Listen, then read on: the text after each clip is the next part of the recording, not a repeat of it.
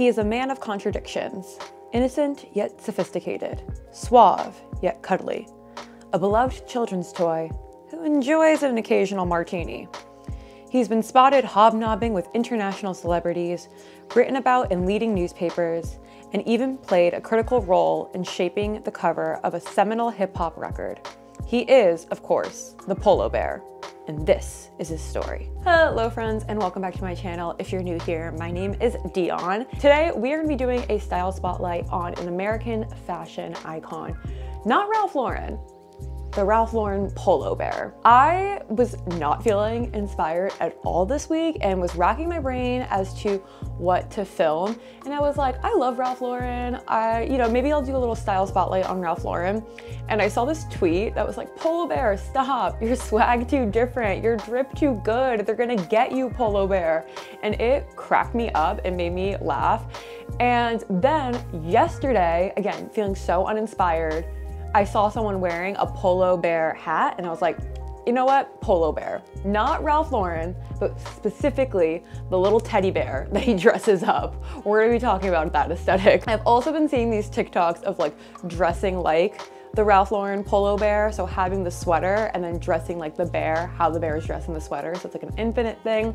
I love the lore. I think it's very funny and it's a fun little like fashion prompt to do to like try and mimic this teddy bear. So if you like fashion videos and fashion commentary in general, then definitely make sure to subscribe to this channel because I post videos every Thursday. And with that, let's get into it. So first, let's talk about Ralph Lauren, the inventor of this polo bear. Ralph Lifshitz, aka Ralph Lauren, was born in 1939 in the Bronx to Ashkenazi parents.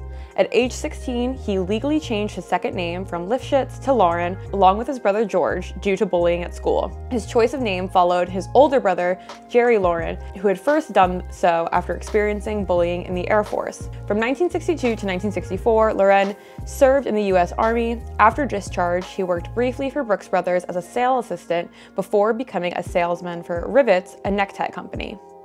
At age 28, working for tie manufacturer Beau Brummel, Lauren convinced the company president to let him start his own line. He launched the Ralph Lauren Corporation in 1967 with men's ties. Drawing on his interest in sports, Lauren named his first full line of menswear Polo in 1968. In 1971, Ralph Lauren Corporation launched a line of tailored shirts for women, which introduced the polo player emblem to the world for the first time, appearing on the shirt's cuff. In 1972, the Ralph Lauren Corporation introduced a signature cotton mesh polo shirt in various colors. Featuring the polo lo logo on the chest, the shirt became emblematic of the preppy look, one of Ralph Lauren's signature styles.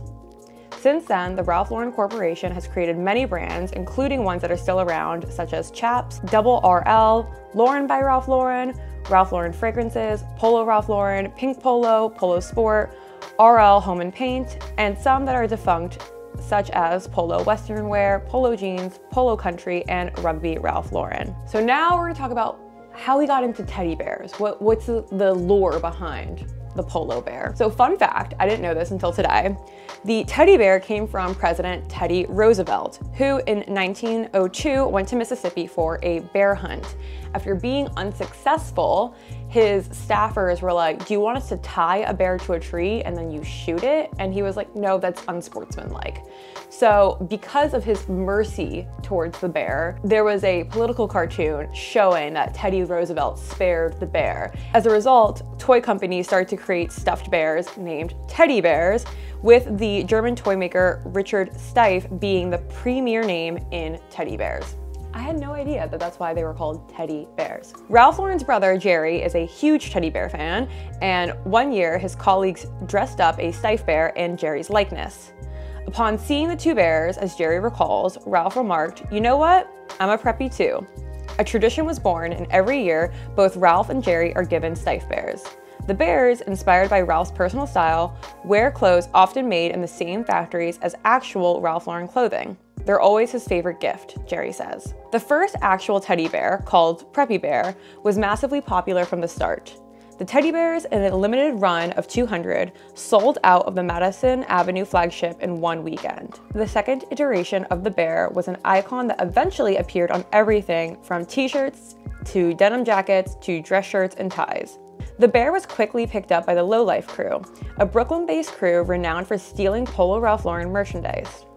They desired Polo Ralph Lauren for its luxury branded clothing. It portrayed the lavish lifestyle that they aspired to. They would hit stores such as Barney's, Bloomingdale's, and Saks Fifth Avenue, taking as much as they could back to Harlem. The crew's mandatory uniform was head-to-toe Polo Ralph Lauren, gaining them the title the Polo Boys and the Polo Crew. There were over 100 members in the crew, which was socializing amongst the elite 90s rappers. This led to the brand's popularity and ultimately shaped the hip hop fashion landscape. It gained further popularity by appearing in music videos and album covers of popular hip hop groups such as the Wu Tang Clan. In 2013, the Polo Bear was reborn, with building interest in archived collections. The Polo Bear sweater returned as part of its vintage Bring It Back campaign. Ralph Lauren CEO Patrice Louvet continues to push the focus back to its classic core pieces. But there is more to the polo bear that meets the eye. Legend has it that there is a mythical sweater of the polo bear wearing a sweater that has a polo bear on it and it's never ending. Meaning a bear that is itself wearing a polo bear sweater who whose bear is also wearing a polo bear sweater and on and on. That is, if it even exists. Polo devotee and rapper Mayhem Lauren told Vice in 2011 that it's almost mythological. He said, quote, well, supposedly there's a knit out there with the bear rocking a knit of himself on it, and he's rocking a bear and it just goes on and on forever. Guys will swear they have three of those, but they never bring it out, never rock it for flicks, but it's supposedly there. Brian Porcel, a vintage expert and owner of the East Village shop, says he doesn't think it's physically possible for the never-ending bear sweater to have been made. It's too complex to render as a knit and it would be too abstract. So far, Ralph Lauren has yet to find proof of its existence, which doesn't mean it's not out there somewhere. So the legend continues on the infinite polo bear. So now that we learned a little bit about Ralph Lauren, the company, teddy bears, and how the polo bear came to be, we're gonna talk about polo bear's aesthetic, polo bear's swag, how we all should be dressing like polo bear. Naturally, the polo bear's aesthetics take inspiration from classic Americana preppy and old money fashion from the 70s and 80s.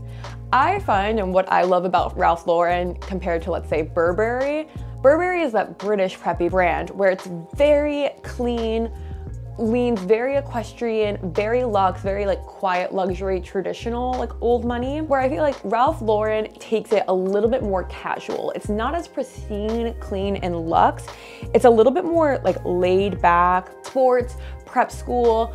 I can throw the football in my $300 khakis and, and polo shirt. Like it's very like almost purposely beating up your clothes. Like there was a very popular preppy movement in the 80s where it was about like kind of beating up your Ralph Lauren button downs. Rather than the luxe preppy style of keeping everything perfect, this display of wealth shows a nonchalance about the clothing that they're wearing. Polo Bear does a lot of layers. He's usually seen with a sweater and a collared shirt underneath, sometimes a neckerchief or a tie.